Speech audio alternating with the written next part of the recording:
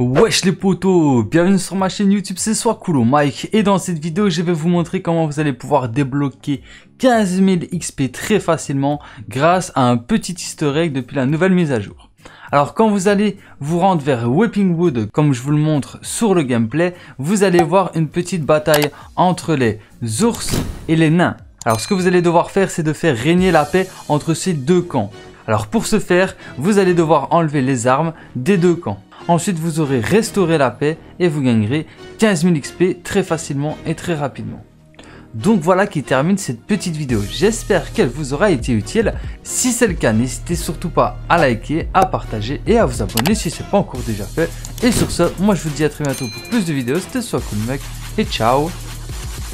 Peace.